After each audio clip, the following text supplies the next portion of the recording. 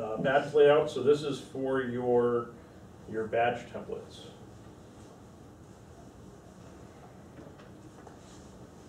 Do you have a? uh, Yeah, there a should be one template in there. Okay. So we can take a look at that.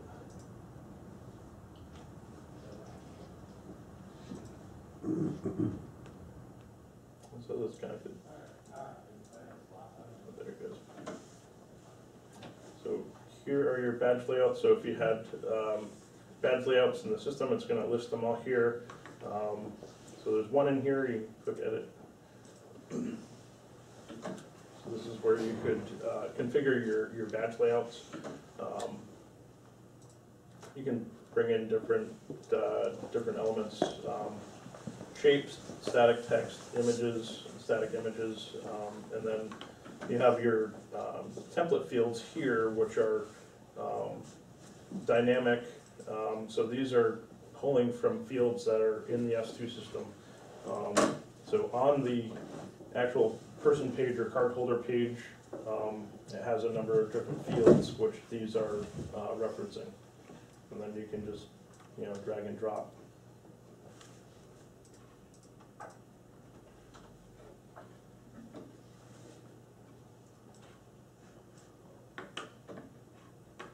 Bring in photos, signatures, um, user-defined fields, um, pretty much, um, most of the, the elements on the cardholder page you can, you can bring into the badge template. And then down below you have smart elements, uh, barcodes and, and mag stripes, you can, if you had a, a barcode you wanted to associate with the, the, the template, if you wanted to, you know, have it print a barcode every time it prints out of the printer, you could set up the template with that barcode.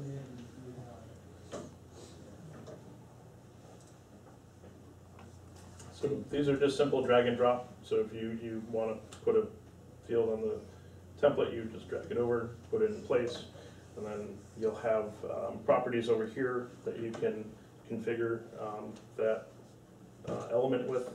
So if you wanted to, ch- you know, change the border color, or the text color, or, you know, the, the, the font, or, you know, th- there's a number of different options here. Was this uh, previously a different app? Yes, so, uh, this is the, um, the new, uh, the new badging software that we have available. So, um, if you're using the, the older software, you'll have a different, uh, application where you manage the templates. Um, and the, the badging, um, piece, uh, in general is a little bit different than the new, the new software. So I think the, I think the version you need to be on to have this available i- within the S two app is four point nine. Yes, And there's a, there's a license flag that needs to be changed, uh, so you'd have to contact us, we can get that changed for you. Are you guys still using the older battery? Uh, it was, uh, I, well, I don't know what app uh, we, we needed, but yes. So you have like a, a old like, We have the template saved in there, we can't do anything with it. oh, okay. So, uh, So you just haven't edited a template in a while? yeah, Yeah, it runs on like a separate workstation. It was m- more of a, right. like an older architecture. This is just built in the browser, so. yeah, that's, that's the benefit of the newer, Yeah. um, the newer software, it's all, you know, built into the browser, you can go and, you know, pretty much open up any web browser and make, make changes to the template, you can, you know, do your, your printing from pretty much any browser. Makes sense. And if you guys are already licensed for it, then just reach out to, to Mike at Access and we'll get that transferred over. Yeah, the, uh, in a coming version two, the old badging is no longer gonna be supported, so there will come a point where you're, you'll have to switch over. I see.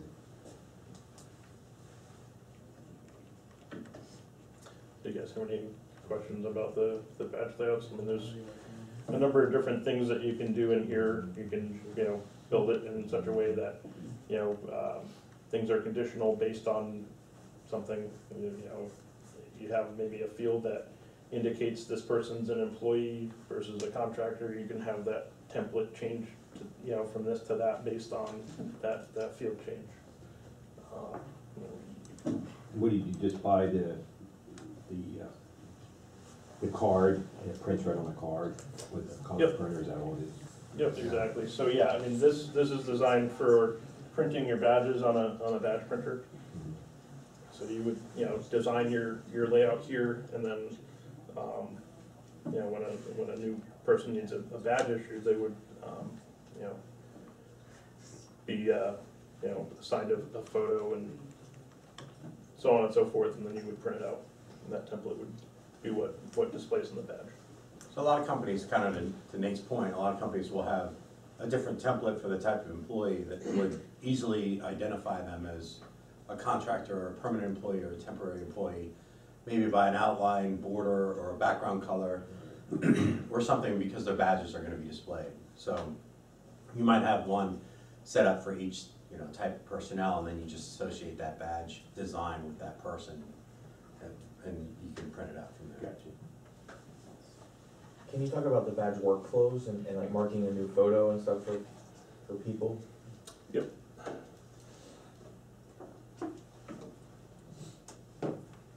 So the next uh, section is the, the badge workflow. So in the badge workflow, um, you have a couple of different things. It first shows you a list of um, people that um, either are, are needing to be printed or photos taken, or they have been and it's waiting for approval. Um, th- This workflow is configurable. um,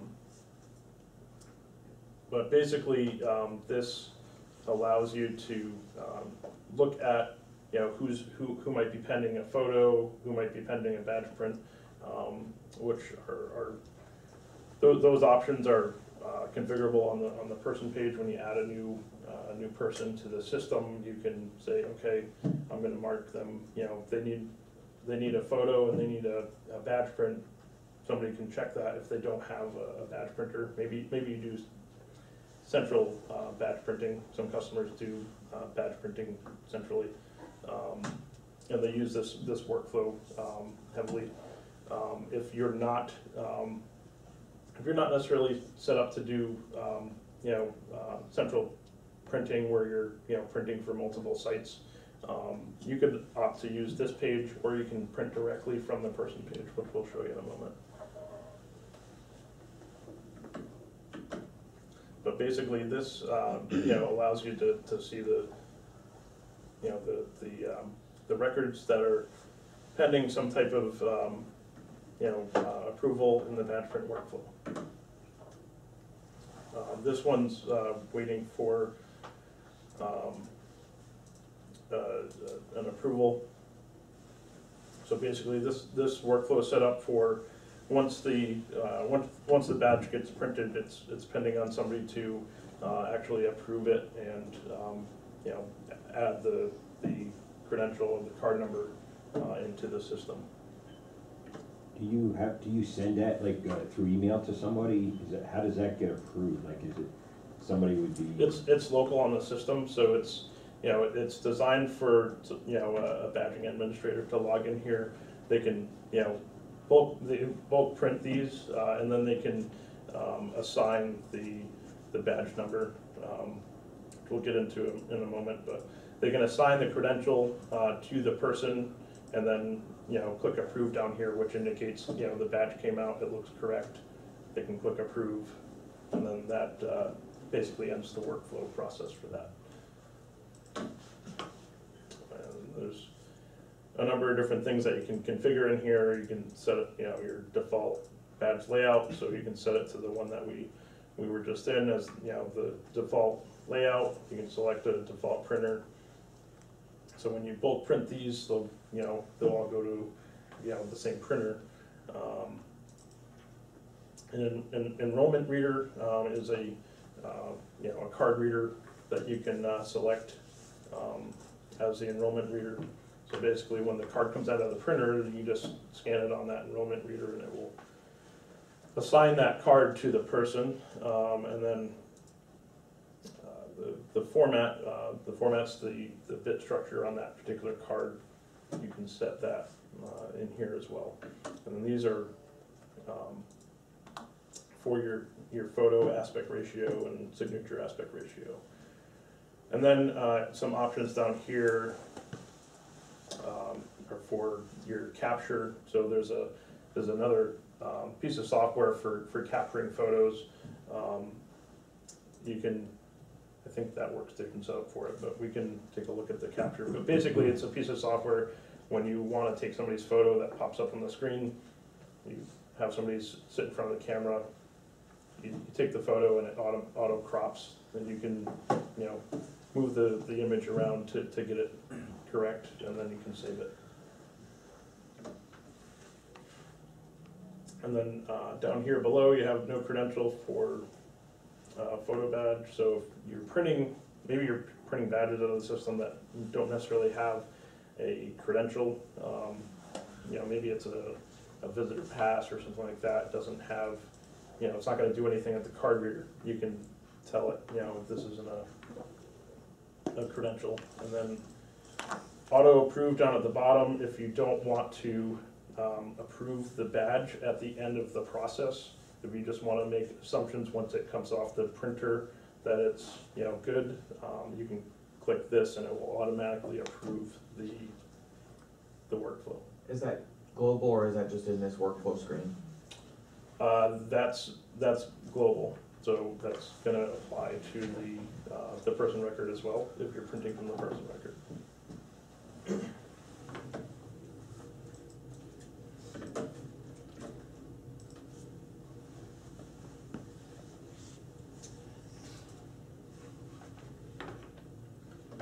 Data operations, um, is used to basically make bulk changes to the system. You can, um, import card holders and make, make changes to the card holders in, in bulk. Um, it uses a, uh, a CSV or a TSV, you know, uh, delimited text file. Um, so you, know, have a, you know, you can have an Excel spreadsheet full of, uh, you know, new users, you wanna add them to the system. You can, um, set that up and upload it, uh, through this, uh, this function. This is kind of what it looks like, though. If I were to open this up in Excel, there would be one line with a command, add person, um, their first name and last name. You can add a bunch of different fields to it if you want, uh, to populate those in the system. But you could, um, use this to add new people, make changes to, to people. Maybe you're assigning a new access level to a bunch of people, you can do that with this tool. One thing that I wanna mention here is, if you remember back to the person IDs on the person record, if you're going to be importing modifications to existing person records, the key to do the update is, is that person ID, so it's one reason why you'd wanna have those be unique.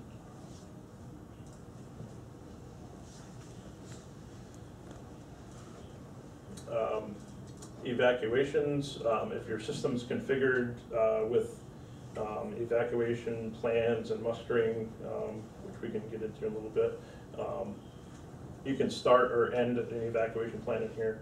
Um, but you can basically set up the system in a way, where it's accounting for who's in the facility. You can create evacuation plans to basically account for, you know, people that might be uh, in the facility. So if you have, for instance, if you have a a fire alarm, um, you can have um, people muster out of the building. So they're either, you know, scanning a, a card reader or using our mobile application to indicate that the person has exited the building. Um, And then you can get a count of, you know, who's left in the building. You, you can see who those people are. Um, But again, your, your system has to be, you know, configured uh, to, to have that option uh, function properly.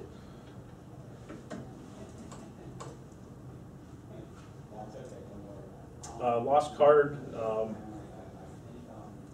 really touched on credentials yet, but basically, uh, this feature is designed for, um, if, if you happen to find a card, somebody dropped their card on the floor, um, maybe you don't print badges, so you don't know who that card belongs to, you can go in here and either type in the number that's on the back of it and click search, and it will bring up the person that that card belongs to. Or you can click use reader, select the reader you wanna scan, click go, and then you scan that reader and then it will pop up the person that that card's assigned to. but it's just, you know, uh, designed to be a, a quick way to kind of figure out who, who a card belongs to. Uh, More relevant if you're not printing cards. Um, Uh, add people, we, we did touch on this, uh, when we added you, uh, had you add yourself this morning, but, uh, you know, pretty self-explanatory, you click add, you know, people add, this is where you would add your, your card holders, um, you know, first name, last name, Ac- activation, date and time by default is gonna be the, the current date and time. Gonna branch out of templates. What's that? You're gonna show them a template. Yeah, can- there's any configured, but we can, Oh, they don't have we it. can touch on that. Uh, expiration date and time, this is, uh, if you, you know, had a, a set, you know, expiration date and time, you wanted that, that record to expire, you could configure that in the system when you're adding the person. You can ob- obviously do it afterwards as well. And then the, uh, the person ID, so this, uh, this can be, uh, configured a few different ways in this system. The, the person ID, um, is typically a unique identifier for the, the person or the record. Um, we, we typically recommend using, um, you know, uh, an employee ID number or something that, that you're already using that might uniquely identify the person. Um, that's, that's typically the recommendation. Uh, if you don't have such a, um, number in place that, uh, you assign to people, um, you can either, you know, type something in here that you, will be unique or, or allow the system to auto- automatically generate the number. Um, you can set the system up so that it will automatically populate that with some number. Um, it's, it's based, it's based on a sequential ordering in the system. Um, so if the, if, if your system's, um, populating this automatically, if, if the last one was, you know, eleven, the next one's gonna be twelve, so on and so forth. Um, So there are a, a couple of different ways this can, this, this can be configured. Um, you can set it up so that, you know, you can't have any duplicates in the system. Um, which is typically advised, we, you know, we, we usually want this to be unique, as, as Mike mentioned, that data operations tool. If I wanted to make a bulk change to somebody, we're using this ID number to make that change to those people. So it is kind of important, especially if you're, you know, using data operations or you wanna integrate with, um, you know, maybe your HR system or, um, Active Directory down the road, or, you know, you wanna have some, some integration down the road that, um, manages or make changes to cardholders, you know, that field's kind of important to, uh, plan, uh, for in, in, in advance.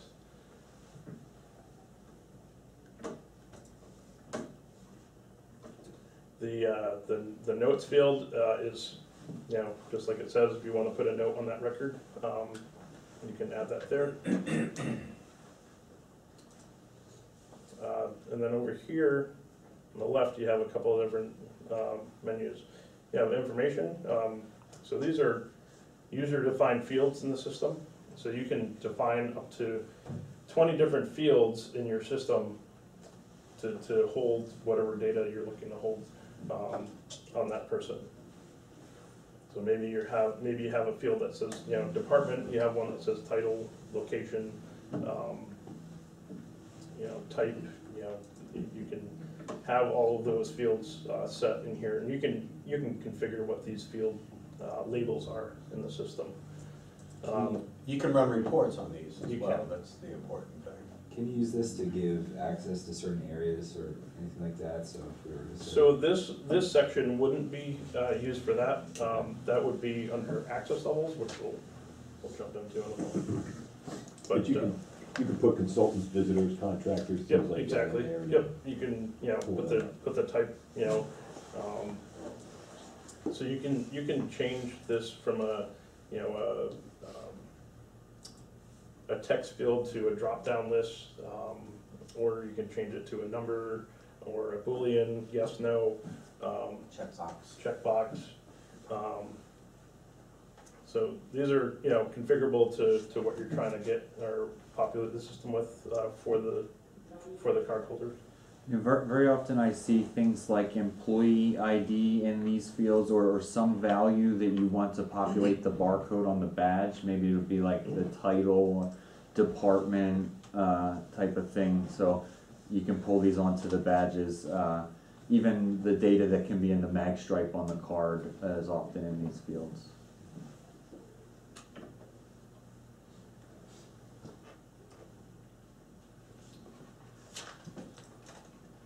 You have up to twenty of those, and then down below that, you have uh, contact, um, so these are in the system um, for you to use by default. Um, So you can plug in the person's phone number, their email, their, uh, their SMS, text uh, ad- address, their location, um, other contact, um, like an emergency contact, you can plug in here with, uh, with their telephone number. Uh, And then vehicles, um, if you wanna track your cardholder vehicles, you can also, uh, plug those in here as well. And you can put the, you know, the make model, make model, color, license plate info in here if you want.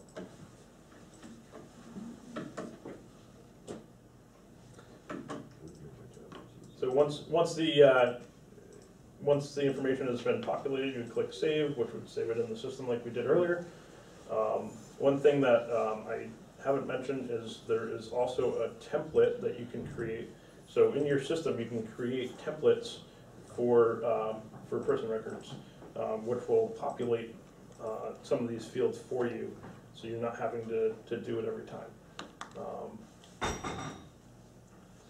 Jump over to templates real So it's actually very useful if you're adding a lot of, you know, I'm adding a contractor, I'm adding the person in the IT department, I'm adding, you know, a person that's gonna work out of this building. You can set up default templates with default access control levels and, um, different things that auto-populate once you select that template. Kind of a predefined jump start to adding that person into the system. So, say this was your, your type field, you put, you populate it with employee, uh, and then now if I go, it's, uh, not showing you.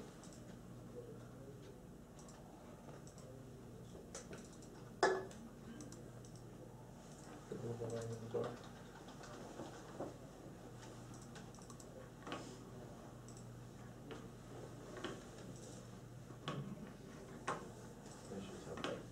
What's that? There it is. Yeah.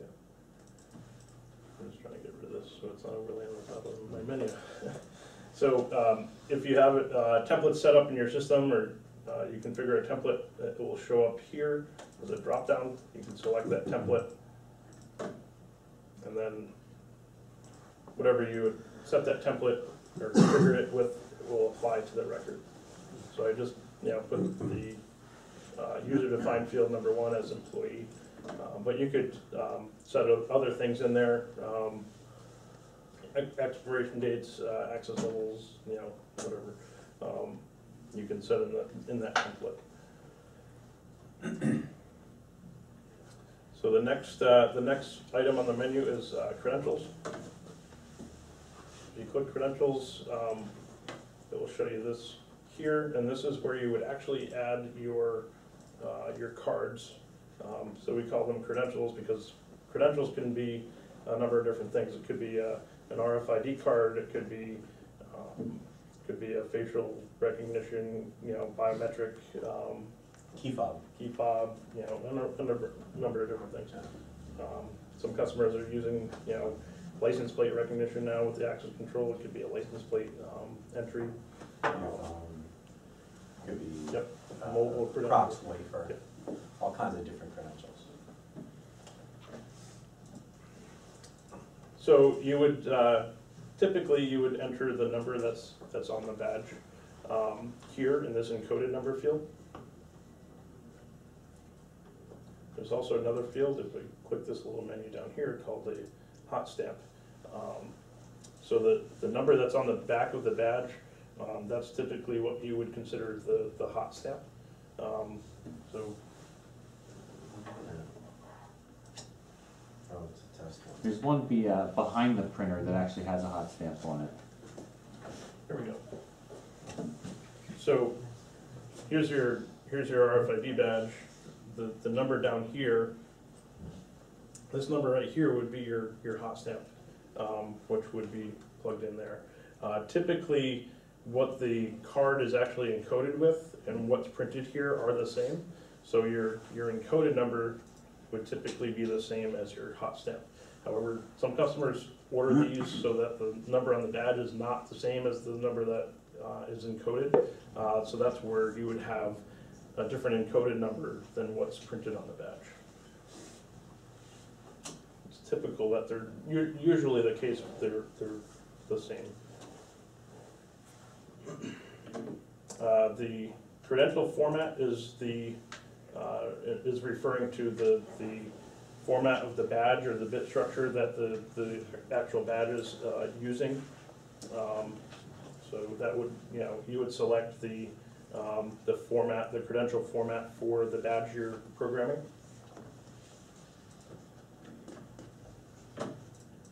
Uh, Expiration date, uh, you can put an expiration date on the credential itself.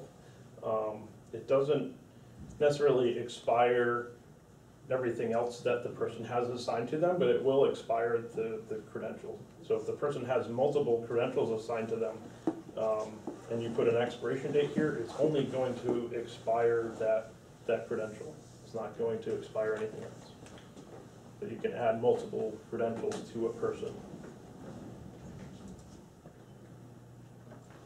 Uh, and then the status, uh, if you're adding a new card, um, typically you'll set it to active. And then over here to the, the right, there's a read button. If you click the read button, it's going to allow you to select a reader, um, from your system. So you would select that reader, you, you would click go, you would go scan the card on the reader, and it will populate all this information for you automatically, based on that read. I think Mike's going to show. There you go. So there's Mike's card. So if you have, if, if you have a, a reader or an enrollment reader set up where you do your badging, uh, it comes in handy, um, so you're not having to type that information in by hand. Um, it eliminates, you know, potential, uh, errors, you know, typing it in. If you put a, you know, a two instead of a one, obviously the badge isn't gonna work, but if we do it with a, with a card read, um, it will populate that information for you. And then, uh, remote lock set, um, this is for, um, this is for, uh, remote, what we call remote lock sets, they're, um, basically locks that, are all in one units that can install on the door. They can be, um, either wireless or, uh, operate over, uh, PoE or power over ethernet. Um, but they're not, uh, conventional, you know, readers, um, but you can set a, uh, a user for those lock sets here, if, if you have those, uh, in use at your facility.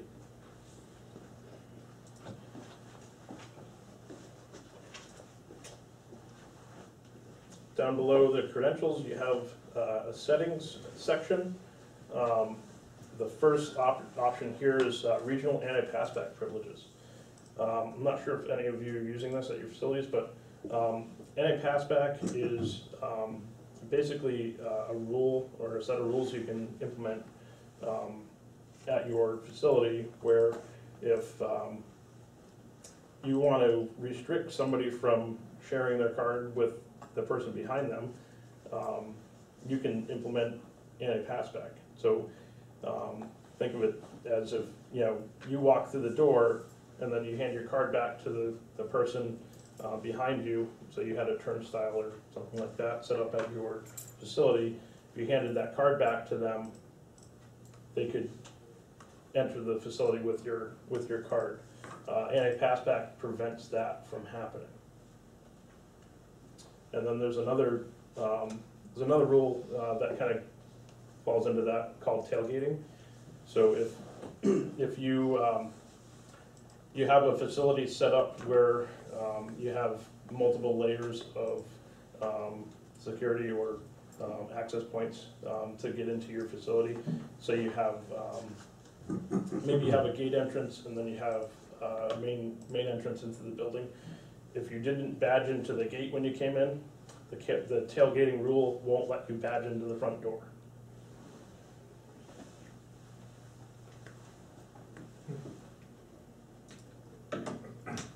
So here you can set that privilege for the user.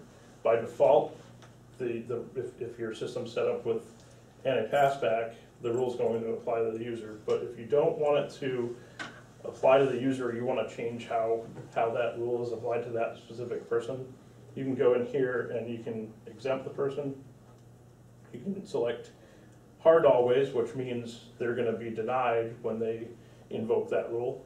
Uh, or soft always, which means that when they invoke that rule, it's going to log it in the system, but they'll still be granted access.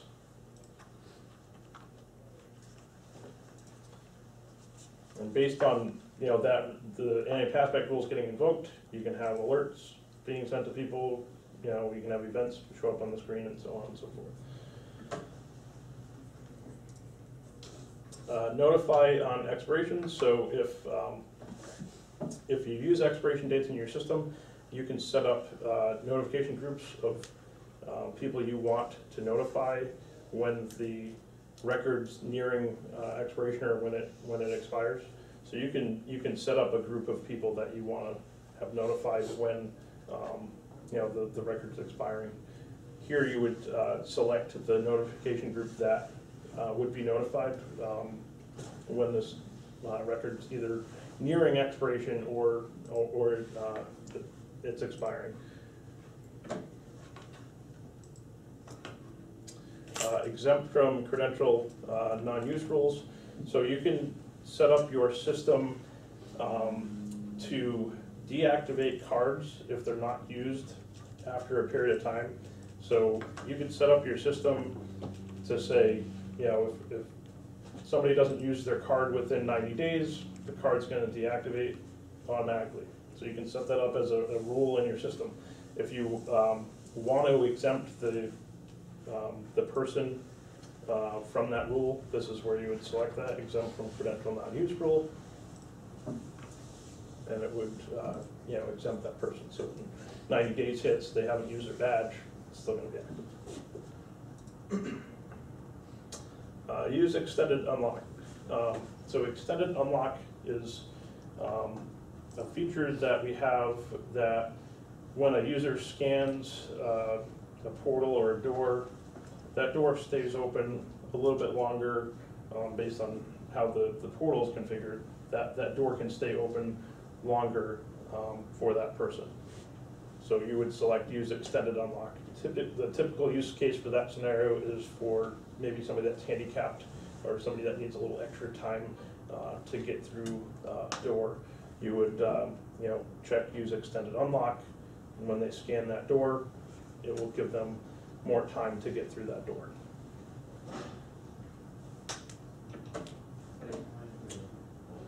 And then trace this person, um, you could, uh, click, you, you could select that, uh, on a person if you're maybe wanting to, um, track their activity, um, you wanna get notified when that person uses their badge.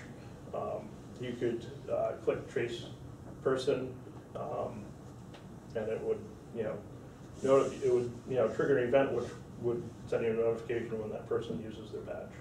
Um, Typical use cases if you're maybe trying to, to look for somebody or, um, you, you- don't know where somebody is in the facility that you're trying to find and you, you wanna, you know, try to figure out where they are. Or if you don't want them to use the badge, you know.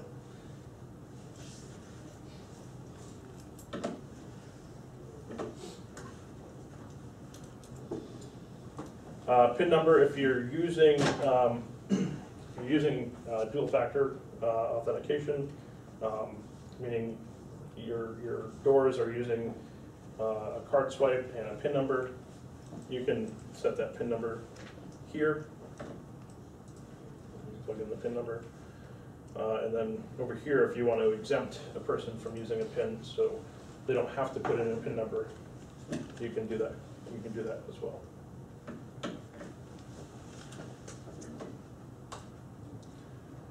jumped into the next uh, section, access levels. Um, So this is where you would actually assign what, uh, what doors that the person would have access to. Um, And we do that based on access levels. And we also have what's called access level groups, so you can create a grouping of, of these um, and create an access level group that you can assign to somebody. So basically, how access levels work is um, they're uh, assigned uh, either a single uh, reader or a group of readers. Uh, And then um, you can assign other attributes to those access levels, like uh, time specs. If you only want the access level to work, you know, during normal business hours, you could apply a time spec to the access level that will only allow it to uh, be used during a certain period of time. Uh, Threat levels, you can apply to access levels as well. Um, But this is where you would assign the access level, so, if, you know, you had um, maybe an employee, uh, you know, access level, you would assign here, which would give an employee their, their access, and then you maybe have another access level for contractors that you would assign, so on and so forth. But Pretty simple, just, you know, select the access level you want, click the arrow, it applies it, and you just click save, and it saves it to that record. Same thing with the credential, with the access level, you guys can make uh, access level expire. Which you see, Yep. just like when he was doing the credential, you can click and say, oh, I'm gonna assign this access level, but it's just temporary. So I might give somebody access to that door, Yep. um, but have it expire on Friday. And, uh, and then uh, there's the auto remove feature here that if you wanted to stay in the record, but then just deactivate, or if you wanted to auto remove. And the reason why that's important is if you find that you use reports that show, hey, who has this access level? If you don't tell it to auto remove, that'll show up for them, whether it's active or not. Right? So that's why that's there.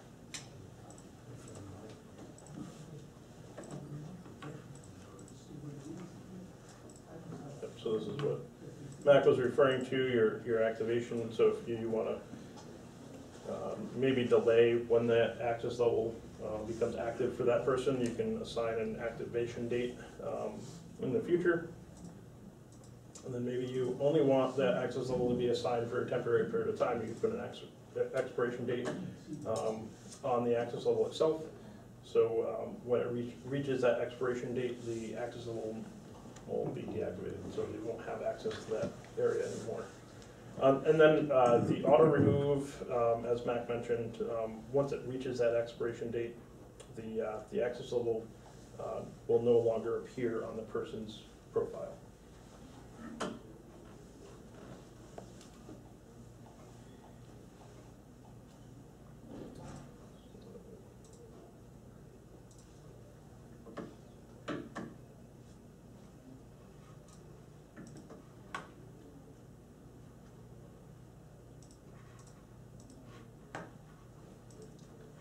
So I just pulled up a, a person page. Um, so we just moved to the, the people search. So we click people search. It's gonna pull up this, um, this people search, uh, you know, these people search fields. So you- now you have the ability to, to, um, search for people in the system based on, uh, criteria. Um, you, you- maybe you're looking for somebody specific, you, you could put in their name, um, or their badge number, um, or maybe you're, you're, you know, searching for, um, you know, uh, employees, you could, uh, search based on that criteria here, uh, and then, once you've, um, filled out the criteria, you just click search, and it's gonna give you the result of that, uh, that search. Um, if you don't wanna put in a criteria, you can just click search, it's gonna show you everybody. And then, um, so this will give you the results of your, your search. Uh, gives you the, the person's name, uh, the photo, if, if, uh, there is one associated, um, if there's an expiration date, it will list it here. Uh, modified is when they were last, you know, the record was last, um, modified date and time. Uh, username, so these are for, um, people that have login rights to the, the S two system. Um, if they have a username associated, it will show up in this column. And then, uh, access levels, this will give you, uh, a list of their, uh, access levels that they have assigned. Uh, card numbers, um, gives you, you know, a list of their card numbers and then the card format. So once, um, once you have the results here, you find somebody that you wanna make a change to, you just click on their name, pulls up their record, and then you can make the change to the record. Some sections we haven't touched on yet are badging and login. So badging, um, if you added a new record to the system and you don't necessarily do the badging piece, somebody else maybe, you know, prints the badge, you can, you can check on, uh, request badge print. Which adds it to that, that, uh, badge, uh, workflow that we were in earlier. Um, if you do do the badge printing, um, and you don't wanna use the workflow, you don't need to, uh, check that box. Uh, down below here, where it says badge print count, this is the number of times the person has had a badge printed for them. Uh, so it will give you a, a count here of, uh, how many times the person's had a badge print. The, uh, the badge layout, um, is what we were on earlier. Um, you can select the layout that you want to assign to that person. Uh, Credential, so this is if you have a uh, credential badge you're printing, you can um, select the format here. If you don't have a, maybe it's a non-credential badge, you can click non-credential. And then the card printer, so this will give you a list of your, your printers associated with the system. You select the printer that you're gonna print to. And you can save the record. And then, um, you can click photo, uh, print photo ID, which, when you click that, it's gonna send it to the printer. So, maybe this is a new record, doesn't have a photo assigned to it yet. You need to, to, uh, associate a photo with the record. You would, uh, click up here, the little edit uh, icon on the, on the photo. Uh, you can click request new photo if, it- if it's somebody else's responsibility to take the photos, maybe you're, you know, the HR people will put this information in, they don't take photos, they don't print the badges, but, um, you know, if that needs to be done for this person, you can click, you know, that person can click request new photo, uh, which will cause that uh, record to show up on the badge print workflow. Uh, upload, um, if you have a, uh, a JPEG image, um, from a camera that you just wanna upload into the system, you can just click upload. And it will, let- it will let you select that, um, photo from the, uh, from the file system on the PC. Yeah.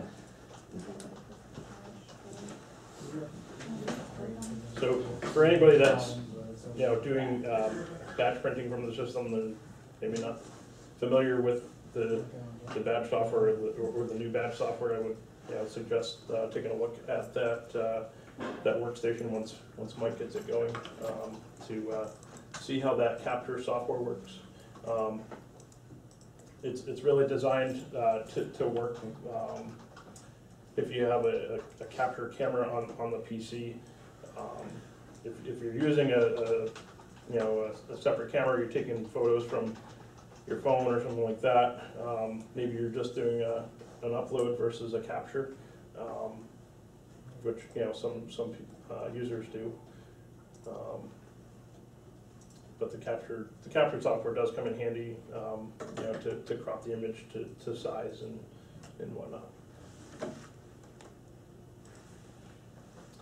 Uh, and then we have, uh, the delete option here if you wanted to, uh, remove the, the photo from the record, you can click delete and that will obviously delete it.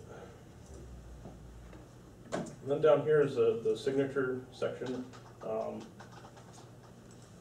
Some customers have um, a requirement to put sig, or store signatures in the system. They might have a, uh, signature capture device, um, one of those Topaz uh, signature devices. You could connect to this and capture signatures, um, or if you have a way to upload those, you can do that.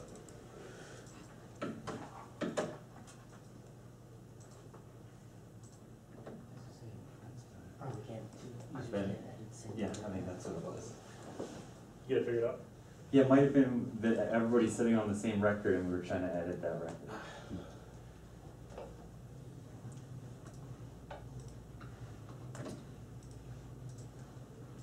In the login page, which we were on earlier, um, this is where you would, um, set the, um, user accounts for people that, um, you know, log into the system. Um, Depending on your, your level of privilege in the system, you may or may not see this page, um, or this section. But if you're tasked with assigning new user roles, this would, this would be where you do that. You would put the username and password in, select their, their user role.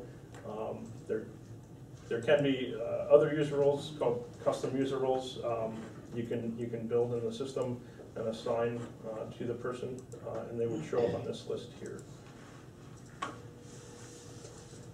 Uh, Alarm filter group, um, in the system configuration, you can configure um, what we call uh, alarm filters and alarm filter groups, um, which allows um, users to only see, you know, certain alarms.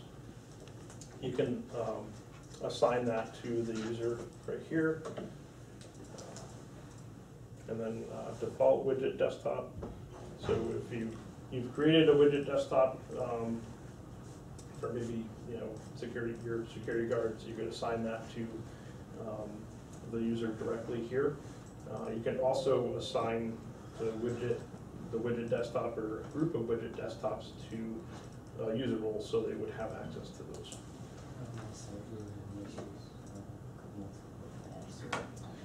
And then custom menu, um, I haven't touched on custom menu yet, but, um, there's an option in the system to have a custom menu, and when I, when I reference custom menu, it's, it's one of these up here, some reason I can't see it.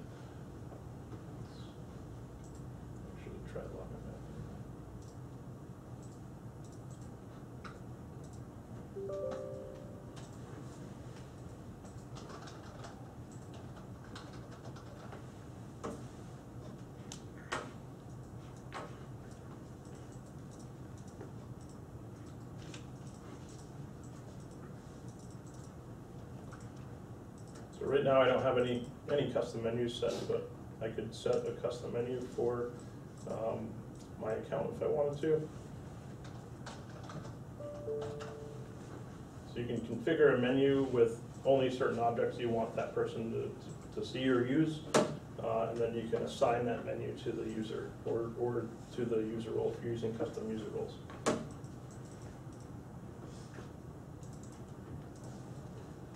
And there's a default one called user tasks, I can save. And then when I log out and log back in, I'll see another menu.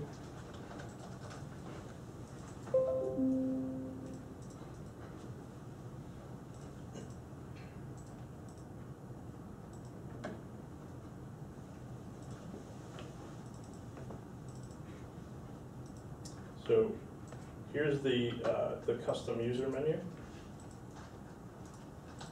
And there's five different objects in there, but you can configure that menu for your users. um, And you can optionally restrict them just to that menu if you, you just wanted them to see certain objects. Um, You could do that, or if, you know, you wanna assign your own, you know, custom menu for the, the objects that you're most frequently using, you can build your own custom menu and assign it to your, uh, your, your user account.